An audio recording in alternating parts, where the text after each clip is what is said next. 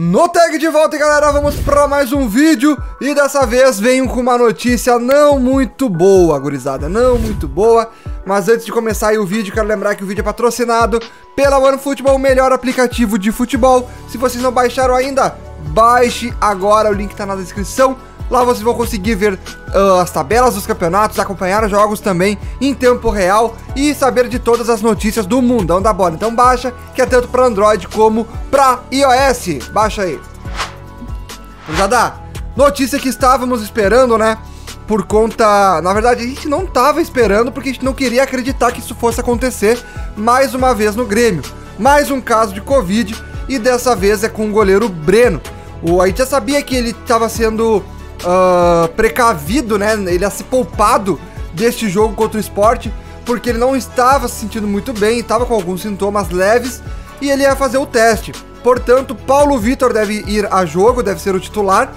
E o Breno postou hoje, algumas horas atrás, no seu Instagram, um story onde ele conta que está positivo para Covid-19. Ele disse o seguinte: Fala galera, Passando para informar que acabei testando positivo para a Covid-19. Estou isolado e com sintomas leves. Obrigado pelas mensagens e carinho de todos. Deus abençoe. Então o Breno está fora, já, já, já estaria fora do jogo de hoje e vai estar fora aí por 10 dias por conta, então, dessa maldita, desse maldito vírus, né? E o Breno então vai ter que esperar esses 10 dias para depois voltar às atividades aqui no Grêmio.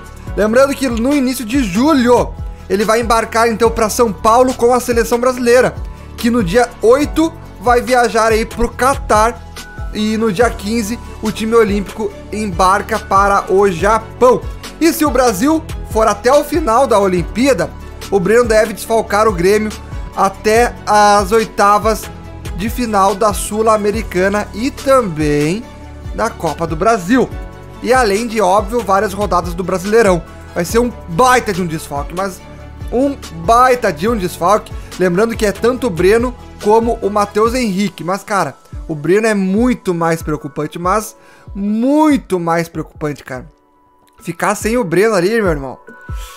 E, cara, eu só não espero que o Thiago Nunes fique colocando o Paulo Vitor em todos esses jogos, cara.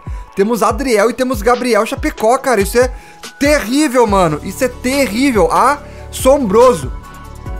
Se ficar botando o Paulo Vitor. Daí, cara, daí é de desistir. Daí não, não tem Douglas Costa que salve o Grêmio. E falando Douglas Costa, hoje é a grande estreia dele. Isso que nós esperamos. Ele foi relacionado. Ele já está uh, com, a, com a delegação toda lá para jogar em Recife. Porém, ao que tudo indica, ele será banco de Luiz Fernando. É, gurizada, ele vai ser banco.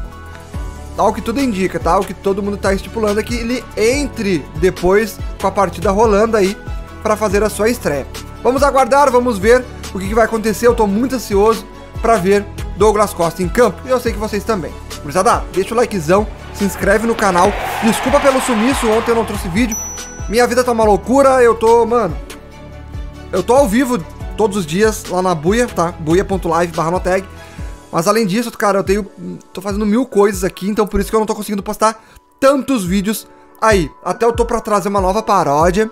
E eu, cara, simplesmente não tô tendo tempo pra parar pra escrever a paródia, pra gravar a paródia, editar a paródia e tudo mais. Mas vai rolar, vai rolar, beleza? Tamo junto, obrigado por todo mundo que acompanha, mesmo eu, eu esses últimos dias não tendo trazido tantos vídeos mas vocês são foda. Tamo junto, valeu, abraço, fui!